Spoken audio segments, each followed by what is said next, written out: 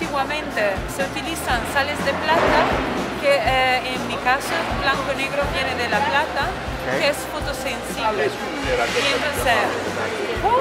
la sensibilizo dándole luz, que sería la luz esta imagen que hemos visto ahí dentro en el vídeo, es la imagen que voy a grabar y la correcta cantidad de luz que entra me ayuda a obtener la imagen.